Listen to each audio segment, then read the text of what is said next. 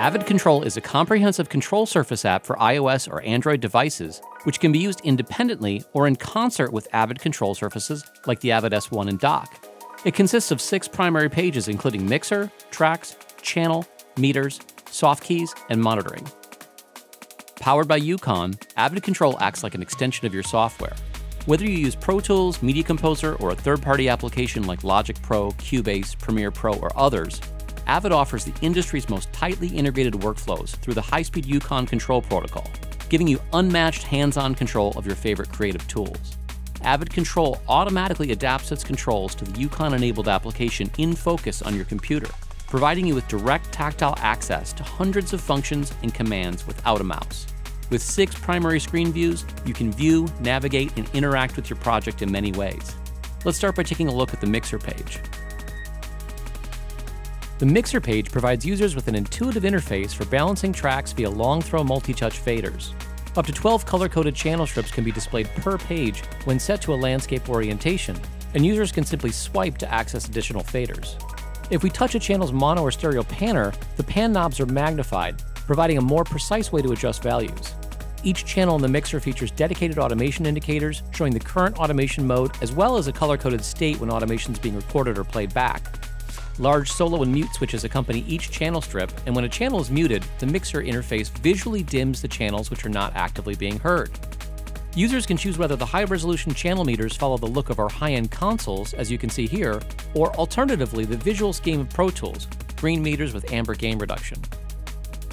Above the automation indicators on the channel strip, we have user switchable function curves, which can be touched to cycle between EQ, dynamics, or panning. Each channel's function view can be set independently and can even be locked in place by simply touching and holding on the desired view.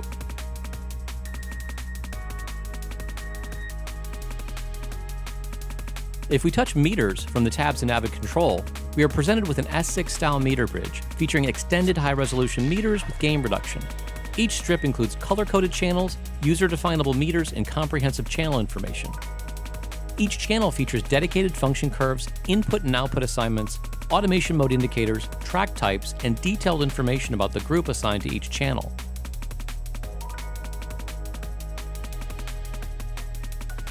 The Tracks page displays a scrollable grid view of color-coded tiles representing the tracks from the workstation.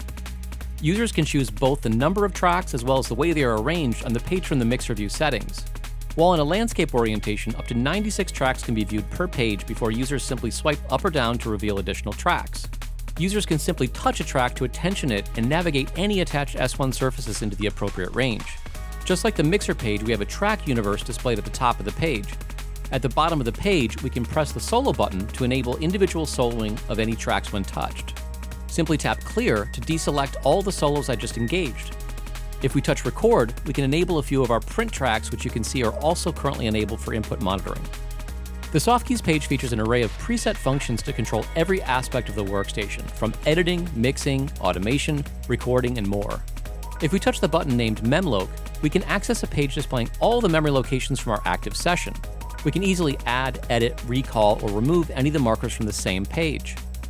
Included with the default Softkeys set are comprehensive commands for automation, from changing modes and suspending automation to more advanced functions like preview, capture, punch preview, write tos, and auto join. We've also included a set of user pages where it's possible to add the commands that are important to your specific workflow, from a single EUCON or keyboard shortcut to a complex string of commands built into a macro. All of the purple buttons with angled corners represent page jumps with additional menus in order to differentiate from direct commands. If the transport bar is enabled from the general settings, users can access a subset of the soft keys from the lower section of each of the pages in Avid Control. For example, to quickly jump to different parts of the song, simply touch a memory location to recall it. This could also be handy for popping into automation trim or performing snapshot automation without having to leave the current page. The channel page provides users with an expanded set of controls for every possible parameter related to the attention track. It includes a color-coded function scroller representing the different sets of parameters for the targeted track, including dynamics, EQ, sends, pan, heat, and more. This page provides predictable control for Avid or third-party plugins, including advanced curve support from developers like FabFilter, McDSP, Sonnox, Waves, DMG, and Harrison.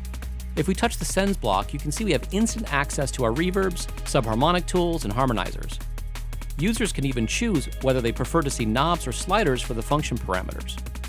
The pan block provides an integrated surround panner supporting any formats from basic stereo to 5.1, 7.1, and even Dolby Atmos enabled object tracks.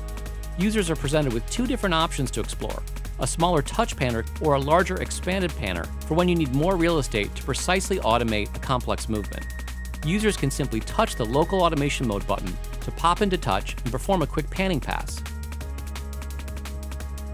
The monitoring page included with Avid Control provides an intuitive touchscreen interface for any EUCON-enabled monitoring devices, such as Pro Tools Matrix, Xmon, or other software-based monitoring sections, including Steinberg Nuendo. We have immediate access to all of our source inputs, whether coming from Digilink, Dante, MADI, or any analog connections. Source inputs can either be summed or switched based on the user's monitoring view settings. For each of the monitors A through D, we can choose which inputs to source for cues or talent mixes, as well as the appropriate level to send.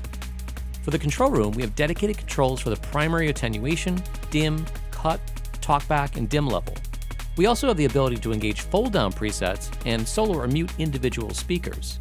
If enabled, users can display soft keys in the lower section of the monitoring page, handy for accessing memory locations or for more complex custom monitoring macros. Avid Control turns your iOS or Android device into a powerful control surface that helps speed up recording, editing, monitoring, and mixing tasks. Download the free app today at avid.com slash avidcontrol.